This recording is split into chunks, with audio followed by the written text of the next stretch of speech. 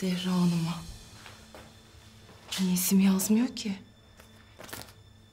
En iyisi Alev Hanım'a vermek. Aa! Ay kime gelmiş bu? Ay bu devirde hala mektup yazanlar da var ne güzel ayol. Aa Zehra kızıma gelmiş. Sen işine bak ben gelince veririm ona.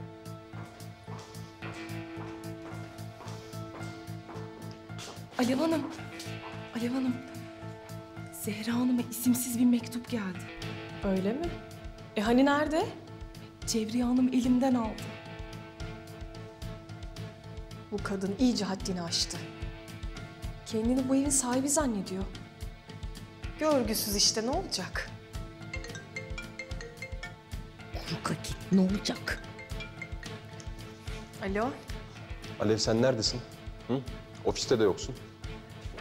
Ee, Ömer evdeyim.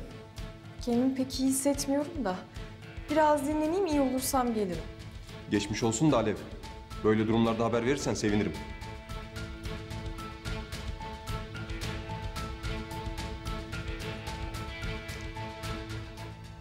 Nazan. Kulaklarını aç beni iyi dinle. Zehra gelmeden o mektubu Cevriye'den alacaksın. Tamam Alev Hanım. Ben sana ne yapacağımı bilirim. Zehra'ya mektup gelmiş dünürüm ama odalarına girmek şimdi ayıp olur diye ben de gelmelerini bekliyorum. Zehra'nın arkadaşları da kendisi gibi müzelik anlaşılan.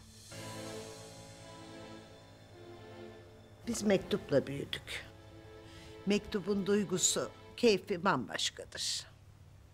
Ay ağzımdan aldın dünürüm. Evet biz mektupla büyüdük. Ah o zamanlar o satırlar var ya altın değerinde kıymetliydi bizim için. Selamında, sabahında, vedasının da tadı bambaşkaydı. Ee, bu devirde de böyle mektuplaşmayı görünce takdire şayan buluyorum vallahi helal olsun. Ben en son ne zaman mektup yazsam inanın hatırlamıyorum. Çocuktum herhalde.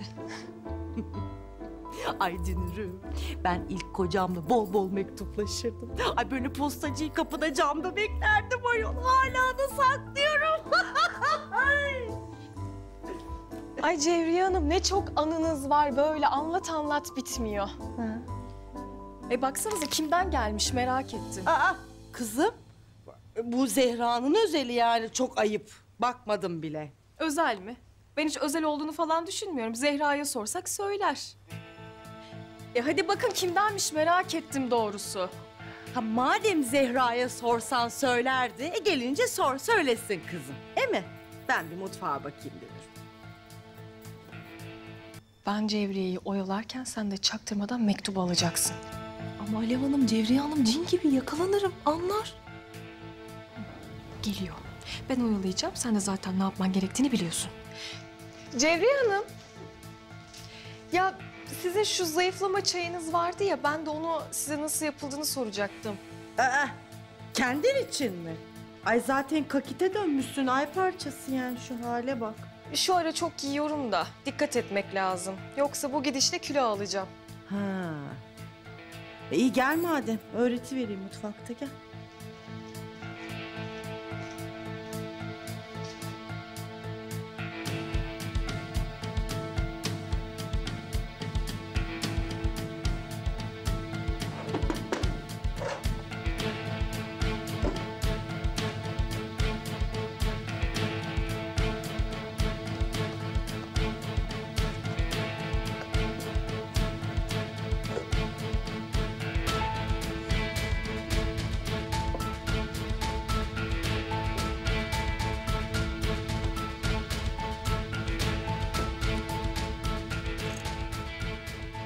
Nerede bu?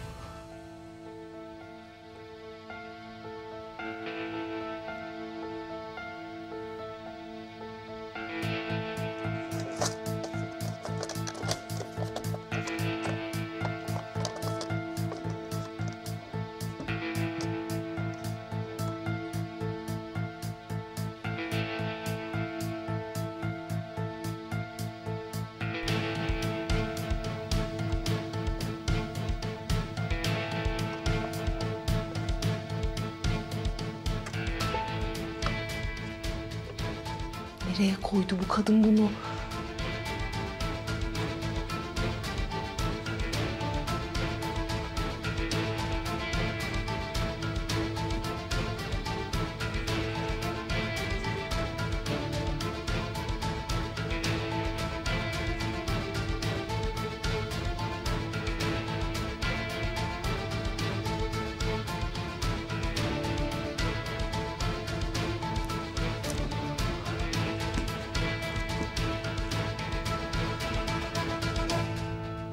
İşte bu kadar.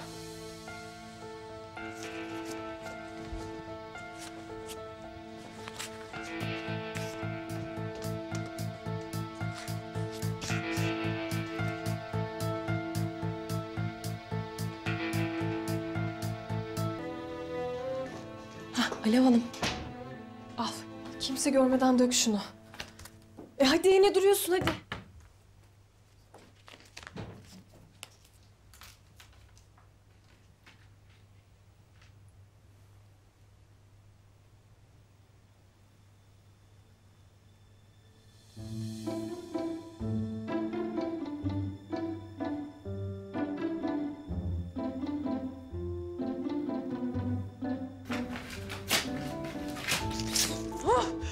Bak ya, şuna bak. Resmen benimle dalga geçiyor.